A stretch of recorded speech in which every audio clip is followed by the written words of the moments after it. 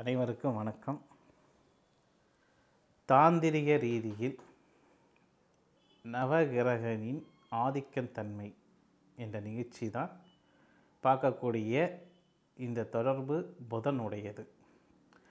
இந்த புதன் ஆளுந்தன்மையாக எப்படி வரைகிறார் அப்படின்னா எண்ணிக்கை பிரகாரப்படி ஐந்தாம் பா அதாவது ஐந்தாம் ஸ்தானம் அதாவது ஐந்தா குடையவன் புதன்.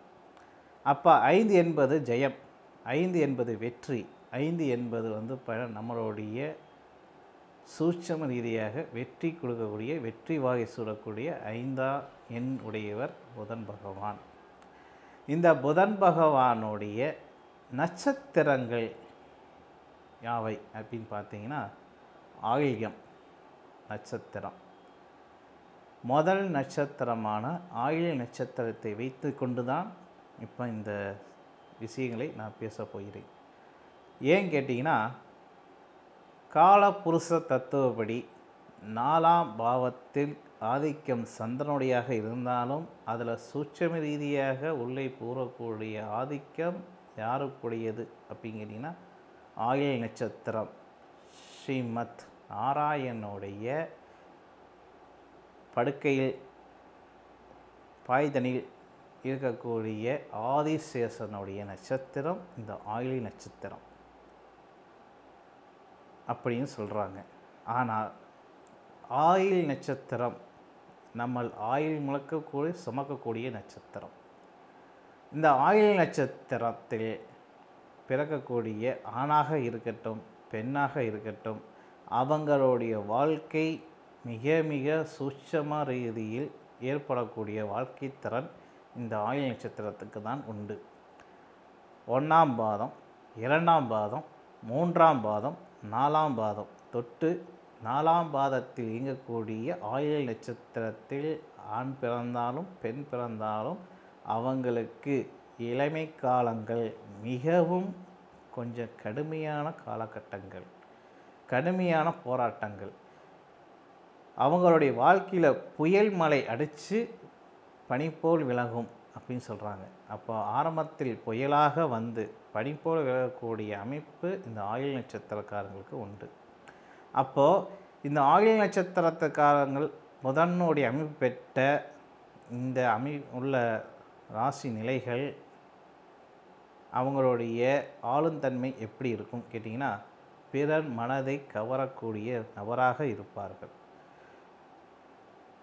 முன் யோசனை அதிக தீரையாக அவங்களுக்கு சமயோஜன புத்தி அவங்களுக்கு அன்றாடம் நிமிதற்கு ஒரு முறை நிமிஷத்துக்கு ஒரு முறை அவங்களுடைய சமயோஜன புத்தி வந்து போகும்.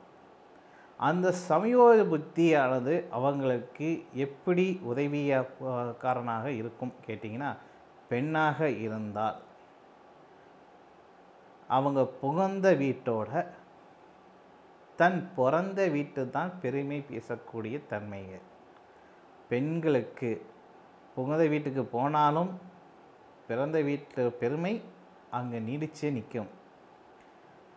ஒரு தடவை கூடியும் அவங்க வந்து பார்த்தா பிறந்த வீட்டை விட்டு கொடுக்க மாட்டாங்க. அதனால் அவங்களுடைய இளமை காலம் பெரிய அபாயத்தை கொடுத்து பிறகு முப்பத்தி ஆறு வயதுக்கு பிறகு அவங்களுடைய புயலாக இருக்கக்கூடிய விஷயத்தை பனி போல மறையக்கூடிய வாய்ப்புகள் இந்த முப்பத்தி ஆறு வயசு காலத்து முடிஞ்சதுக்கப்புறம் தான். ஆனால் இந்த ஆயுள் நட்சத்திரத்தில் பிறக்கக்கூடிய பெண்களுக்கு எப்போது திருமண ஆண்டு அப்படின்னு கேட்டிங்கன்னா வயது.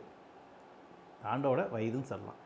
இந்த ஆயுள் நட்சத்திரத்தில் பிறக்கக்கூடிய பெண் திருமண வயசு காலகட்டங்கள் இருபத்தி ஏழு. அப்போ இந்த இருபத்தேழு வயதிலிருந்து முப்பத்தி ஆறு வயது வரைக்கும் அவங்க தன் குடும்பத்தை தான் பெரிது என்று உரையாடலில் வள்ளுவங்கள் படைத்தவங்க அதனால தான் பல ஆயுள் நட்சத்திரக்காரங்களை தவிக்கிறாங்க. ஆனால் அதாவது தவிக்கிற திருமணம் இன்றி வந்து போனால் ஆயுள் நட்சத்திரமாக எனக்கு வேணாம் அப்படின்னு சொல்கிறாங்க ஆனால் அது இல்லை. ஆயில் நட்சத்திரத்துக்கால பிறந்தவங்களுக்கு அறுசுவை விருந்து அறுசுவை உண்டான அமைப்பு அவங்களுக்கு ஈர்ப்பாக கைமணம் உண்டு.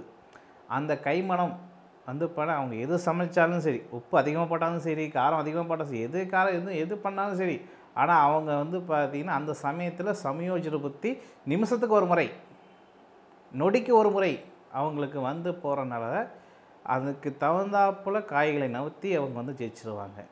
அதனால தான் அவங்க வந்து பார்த்தீங்கன்னா கொஞ்சம் பின்தாங்கி நிலை நிற்கிறாங்க அதனால் ஆயுள் நட்சத்திரம் வந்து பா தோசை நட்சத்திரம் நாங்கள் சொல்ல ஆனால் அந்த ஆயுள் நட்சத்திரக்காரங்க பெண்ணாக பிறந்தால் அதுவும் சரி ஆணாக பிறந்தாலும் சரி அவங்களுடைய இளமைக்காரம் மிக போராட்டத்துக்குடையான காலங்கள். ஏன்னா அவங்களுக்கு இப்பிறவியே கடைசி பிறவி முற்பிறவி என்பது இல்லை. அதாவது பிப்பிறவி என்பது இல்லை அப்படின்னு சொல்லுவாங்க. அந்த மாரி இந்த சமயோஜன புத்தி ரீதியாக நிமிஷத்துக்கு ஒரு முறை மாறக்கூடிய செ செயல்பாடுகள் அவங்களுக்கு வந்து அதிகமாக வந்து பார்த்தா எல்லாத்துக்குமே வந்து பார்த்தா ஓரளவுக்கு தான் யோசிப்பாங்க. ஆனால் இவங்க வந்து டபுள் மடங்காக யோசிப்பாங்க. அதனால தான் அந்த சமயோஜி புத்தி இவங்களுக்கு அதிக வேலையாக கொடுக்குறது.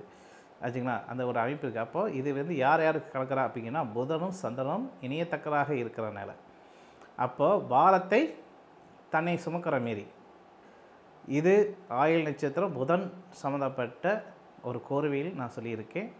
மீண்டும் ஒரு புதிய ஒரு நிகழ்ச்சியில் சந்திக்க வரை உங்களிடந்து விடைபெறுவது ராஜகுரு ஜோதிடாலயம் மன்னார்குடியிருந்து ராஜேஷ்குமார். நன்றி வணக்கம்.